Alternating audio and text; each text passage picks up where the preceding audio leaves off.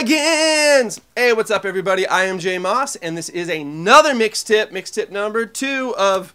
I don't know how long I'm gonna do this. I'm gonna try to do it as long as I can. Maybe I'll do like a thousand. I don't know, but or like maybe I'll get to two.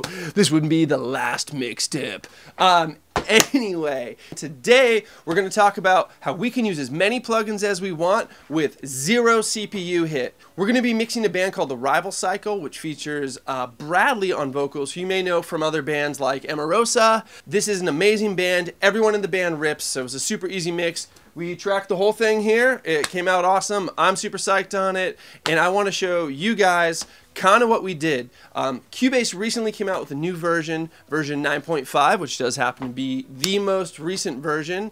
In this more recent version of Cubase, there is a new feature which I love personally, and it lets us use as many plugins as we want with no CPU hit whatsoever. There's some pros to this, there's a couple cons, but overall it's a huge, huge bonus to what was already my favorite recording platform. So I'm excited to show you guys what I'm up to. I'm excited to show you how we can use this creatively and really tailor things part to part. It's super easy and it's a kind of a game changer. If I'm being honest, it's kind of a game changer. Let's uh let's look into this. Let's dive in further, shall we? Okay, so here we are in the Rival Cycle EP project. Uh, anyone who's seen my mixing course already will uh, know what everything is, since I always color code everything the same. Uh, we got drums, bass, guitars, vocals. Um, and what I want to show you is this really cool trick I'm doing to effectively do whatever I want with plugins and take up basically no CPU.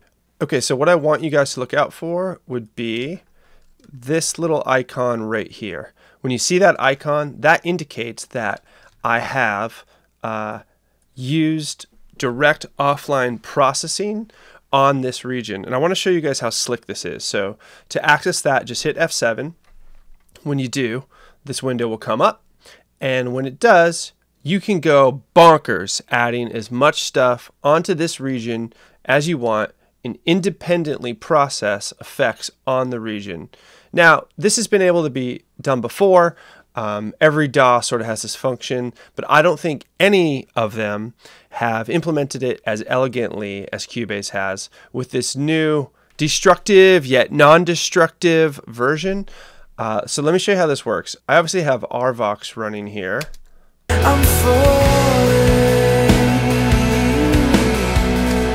Also, big ups to Bradley from Emarosa for having just a super great voice. Uh, easy to mix, easy to work with. Uh, super talented dude. Okay, let's add. Let's. sorry, Bradley. Let's f- your voice up. Let's add some stuff. Uh, let's add some distortion. Boom. Driver. Boom. So as you can see, we're gonna go hard here. And see how the waveform changes? Let me zoom in. Uh, this waveform changes. This is being written into the actual file, but Cubase keeps track of everything you do in this window as pertains to this region or any region. So let's listen.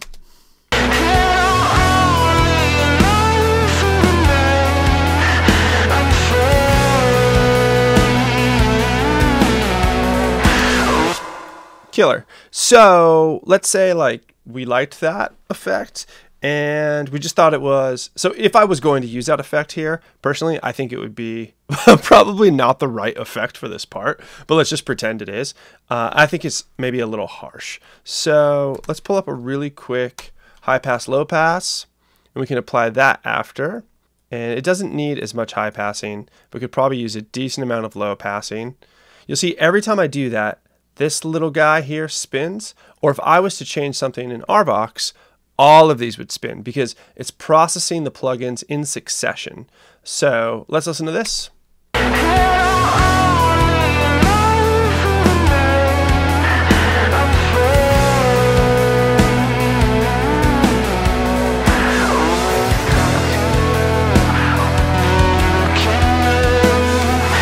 And you'll see when this is yellow, that means it's bypassed. When it's white, it means it's on. Here's one thing about this. The trick to this is that when you have a mono file, you can only apply mono effects to this. For example, if we try to apply a stereo effect, let's just go ahead and grab an instance of maybe Verb Suite.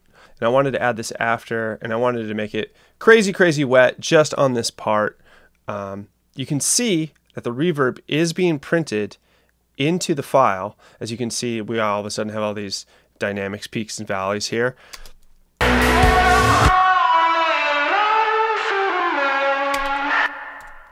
Uh, the issue, of course, is that this is a mono file. Therefore, these plugins, uh, even if they are stereo plugins, they only print into the file in a mono way. So uh, that's no bueno. So my trick is that, let's delete these things that I'm definitely not going to put on the vocals here.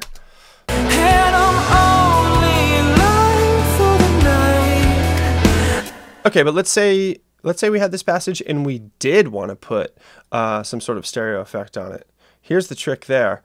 Uh, in Cubase, you can right click, render in place, render settings, boom.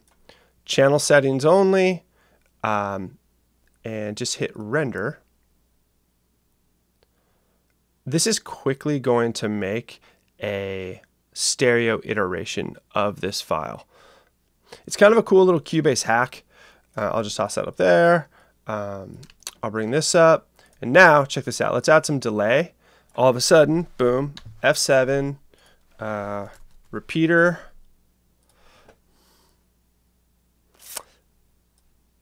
And let's wait for that to process. Uh, and we can see already that there are differences in the left and the right on these waveforms. This will be stereo.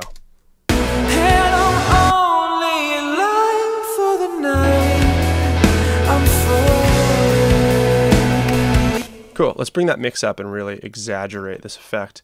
Waiting for it to process.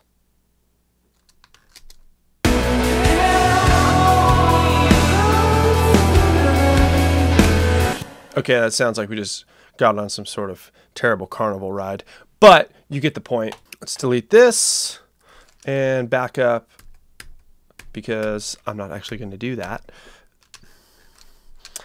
And let's look at some other places we can have fun with this. Uh, let's see here, in this third passage of the song.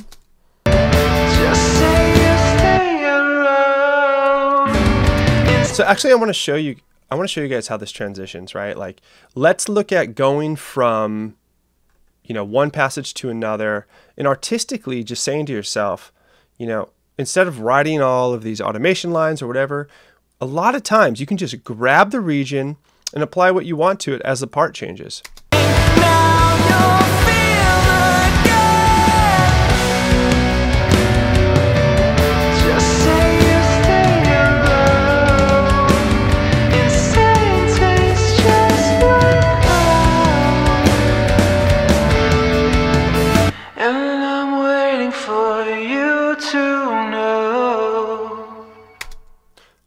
So you can see on this part, I did exactly what I almost did over here, except I actually liked the effect. I printed this down using the um, render in place. Oh, get rid of that guy. Uh, using render in place, and then I created this stereo file, and once I had that stereo file, I started applying stereo effects. This is great on vocals, but I mean, it's great on everything. We can bounce around in this project and find spots where I did this in other places as well. Um, there's really not a bad moment on this EP. Okay, let's check this out. There's got some sort of lead going on here.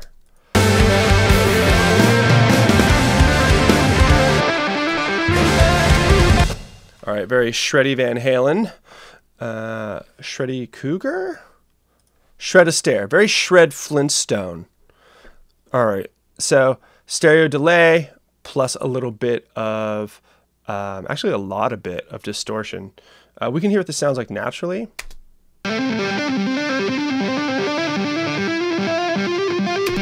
Okay, not bad. One thing about this plugin is that it actually rolls off some bottom end. So if I want to bring something and kind of give it like a different timbre and also make it not take up or not occupy as much room in the low end of the mix, which we all know is kind of precious real estate, you can use this uh, one knob driver. It's a really dumb, simple plugin, but it sounds good. I mean, it, It sounds good when it sounds good because it definitely has its own very specific voice.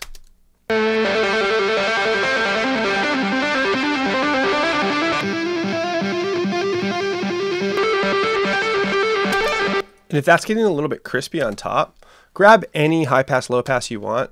I actually just really like this Cubase one um, because, guys, I just use my ears. Like, I don't want to, I'm not going to sweat it. You know, I'm going to roll off some top and maybe a touch more bottom, but just to get rid of those high, high crispies, and then we should be good.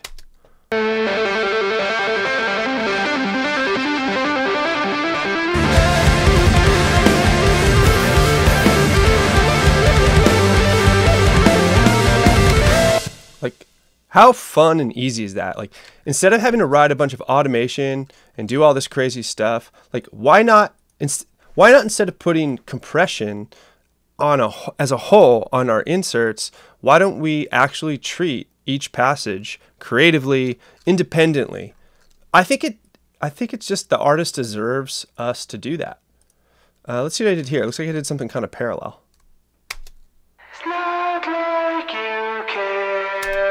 Cool. And then this is probably the dry.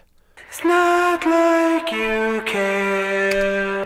So as you can see here, this is an awesome way to do parallel effects. Uh, let's see what it did. Oh, this is awesome. I want to show you this. Boom. Grab multiple regions. Boom. Hit F7.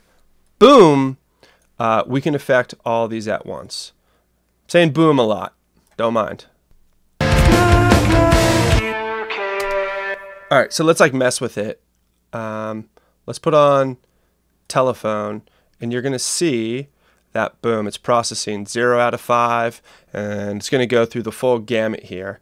And when it's done, it will applied the exact same effect. So let's say you have your vocals, or you have a lead line, or you have whatever. It's cut up into multiple regions, but it's all part of the same vibe. It's all part of basically the same creative moment. Just grab them all. Um, if you want them to be all the same and you totally can do that and then you don't have to like try to copy and paste settings and stuff which we all know we're always looking for more efficient ways to enhance our workflow uh, not create more work I mean, just like that, we're done. And then I'll pop it back.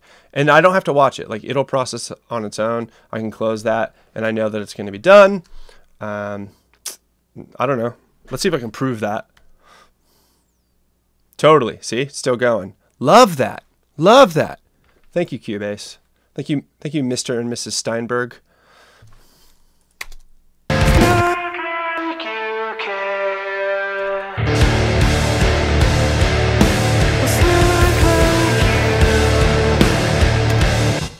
How sick is that? I love that.